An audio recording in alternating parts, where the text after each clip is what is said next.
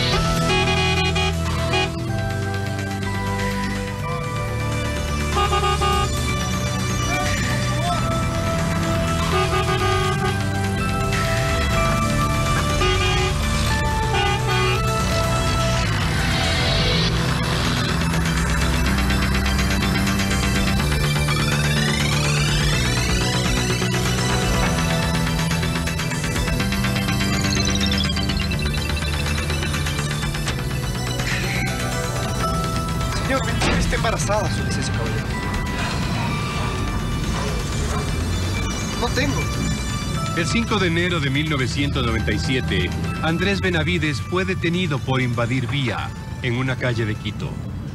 Su esposa María estaba por dar a luz y en el apremio por llevarle a un hospital, olvidó su licencia. Este incidente que puede ocurrir a cualquier persona, al ser llevado a los tribunales, provocó un hecho que evidencia las falencias de nuestros procesos judiciales.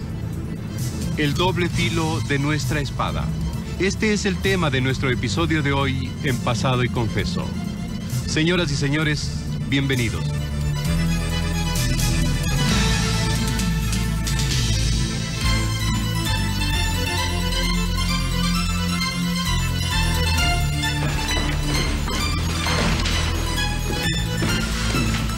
Buenos días, Doc. La señora lo está esperando. Ah, ¿qué tal? Mucho gusto, señora. ¿Cómo está? Bien, tiene que ayudarme, doctor, por favor. Claro, por supuesto, para eso estamos. Pase a mi oficina. Doc, le llamó el ingeniero Cepeda. La audiencia de conciliación será hoy a las 3. Gracias, Diana. Primero déjeme atender a la señora e inmediatamente me comunica con el ingeniero Cepeda. Pero antes, tráigame un vaso de agua porque la señora parece que está nerviosa.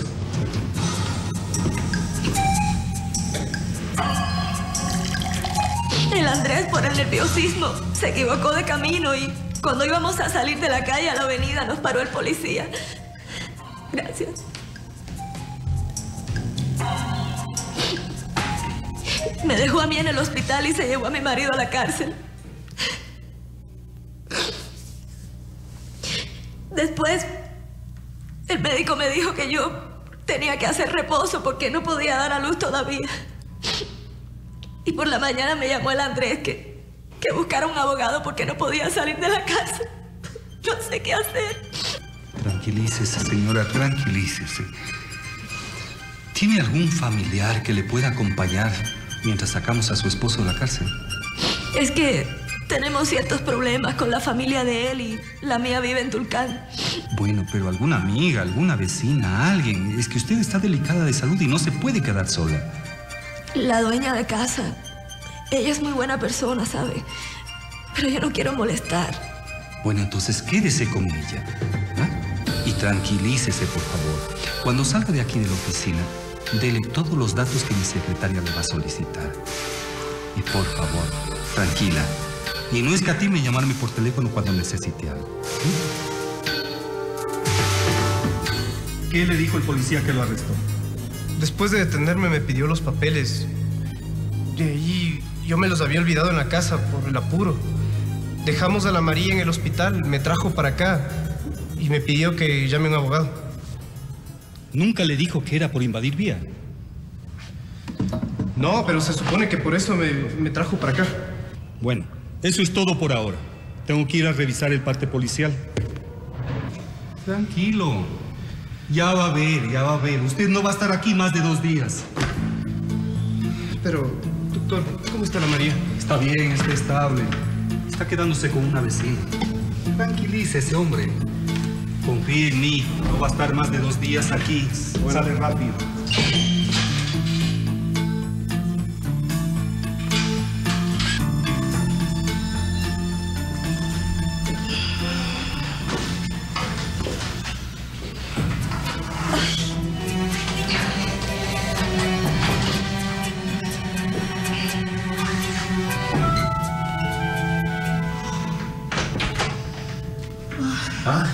Usted, señora María.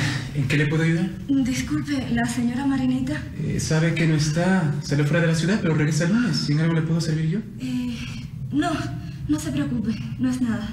Gracias.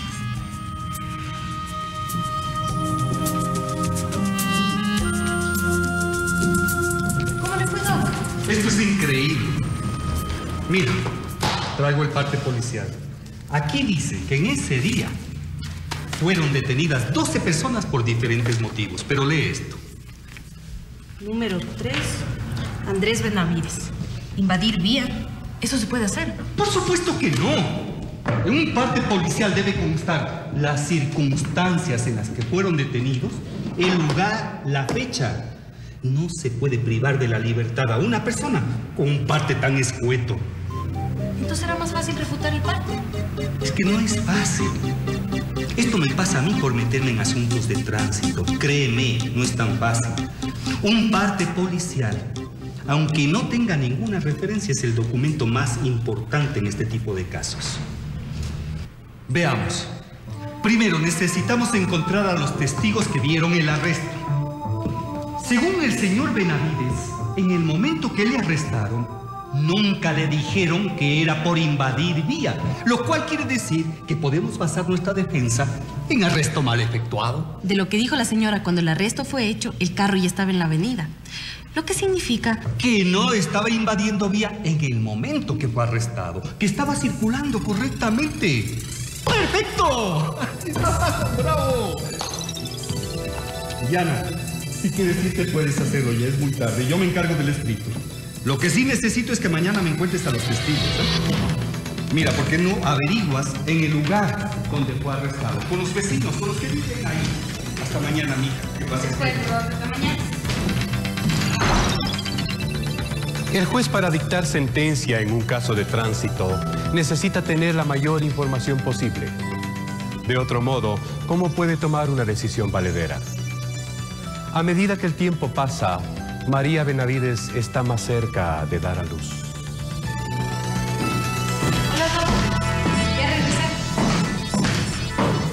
Doctor, ¿le pasa algo? Ay, Dios. No. Solamente estaba pensando. Los tres testigos ya han sido informados acerca de la hora de la audiencia. También ya le conseguí las referencias que me pidió y los certificados del señor Benavides. Y el juez ya señaló día y hora para la declaración de los testigos. Doctor, ¿qué le pasa?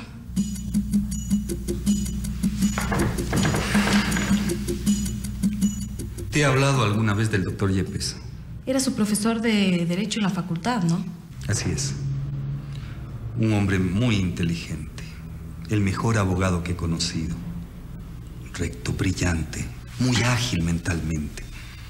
Pero sobre todo honrado. Yo trabajé con él. Por eso puedo decirte que es un hombre honrado. Mira, después de lo que me gradué, me fui a trabajar con él. Posteriormente me puse mi propio despacho.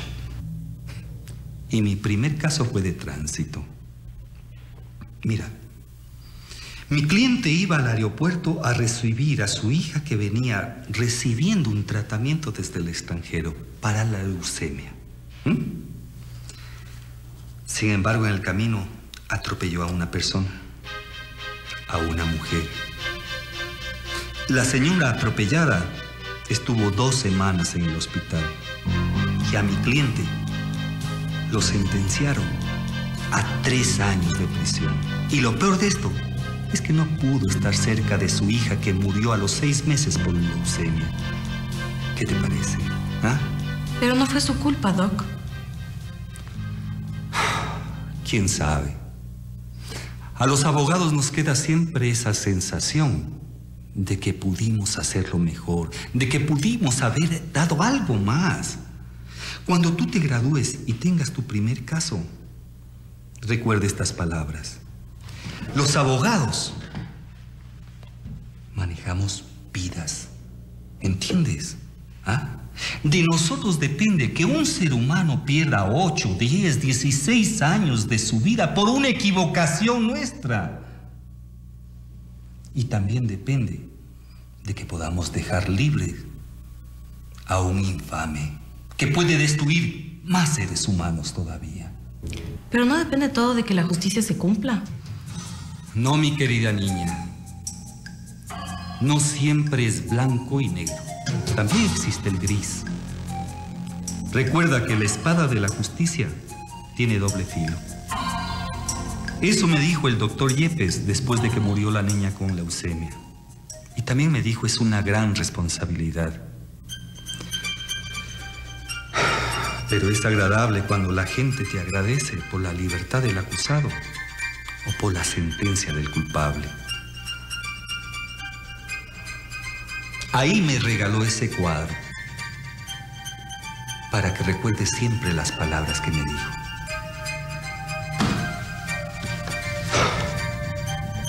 Sí. Bueno. La audiencia de los testigos es hoy día en la tarde, ¿no?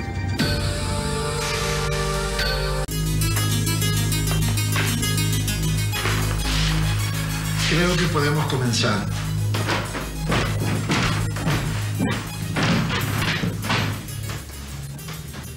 Les debo recordar que esta declaración juramentada tienen que decir la verdad.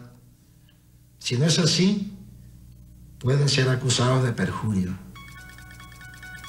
¿Su nombre, por favor? Elizabeth Vélez Mora. Perjurio.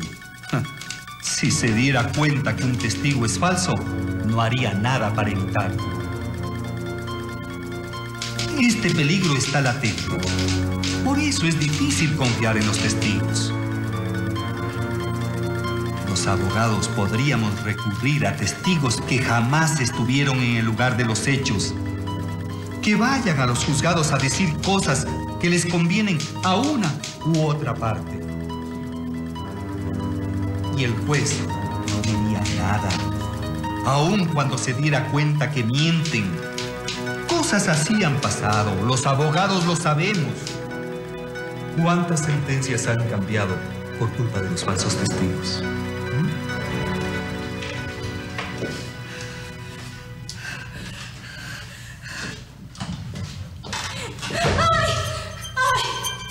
Señora María, ¿pero qué le pasó? Ay, lléveme al hospital, por favor. Claro, eh, tranquilícese, sí. Por favor. Tranquila.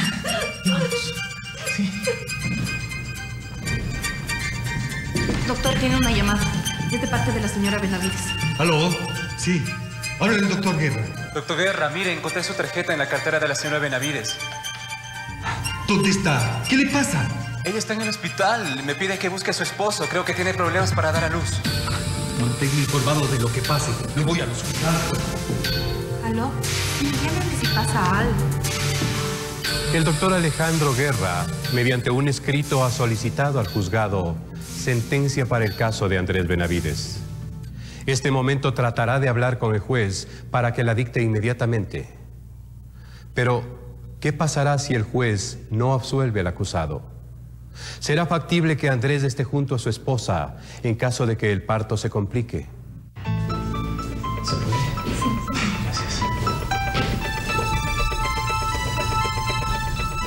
Señora María, ¿cómo está?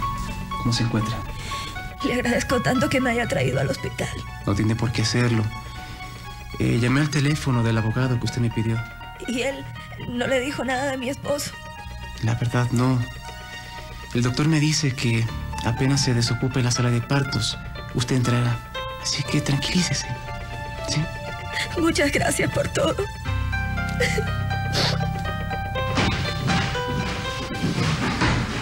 Hola, ¿qué tal? ¿Lo podemos atender, doctor? Sí, por supuesto. Quiero hablar con el señor juez. El señor juez no se encuentra aquí. Salió a una inspección. Dígame, ¿sabe usted si la sentencia del señor Andrés Benavides salió? Sí. Tengo entendido que todas las sentencias ya salieron. ¿Se acuerda por si acaso si le dieron la libertad? Sí, creo que sí. Bien, gracias. Buenos días.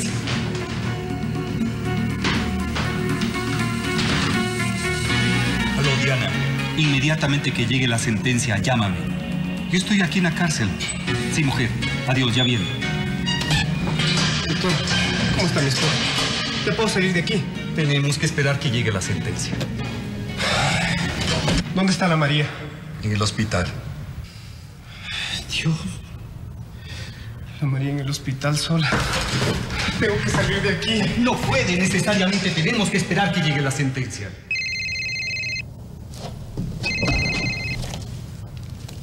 ¿Aló? Doc, acabo de recibir la sentencia.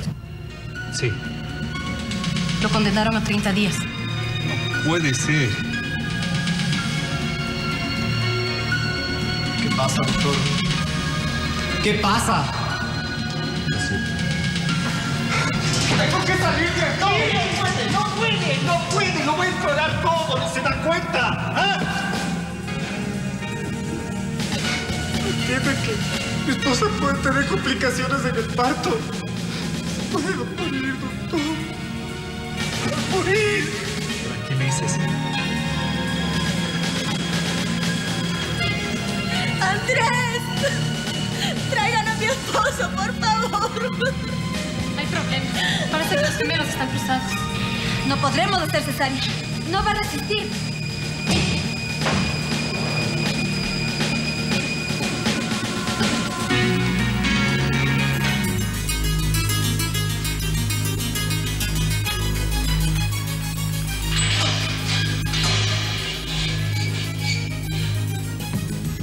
Andrés Benavides, Sí. queda libre.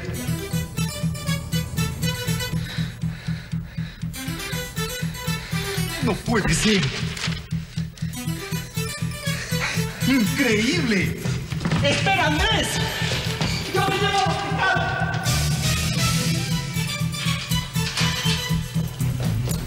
La recepcionista dice que todavía está en la sala de partos. Señorita, yo soy el esposo de María Benavides. ¿Puedo entrar?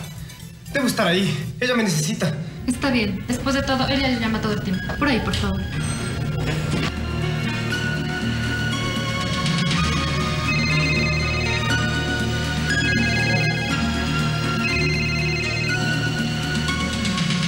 ¿Aló? No me lo va a creer, Doc, pero consiguió otra sentencia del caso de los Benavides. Sí, lo sé. Lo declararon inocente y libre de todo cargo, ¿verdad? ¿Cómo lo supo? Es que estoy aquí, en el hospital, con Andrés y su esposa. Adiós.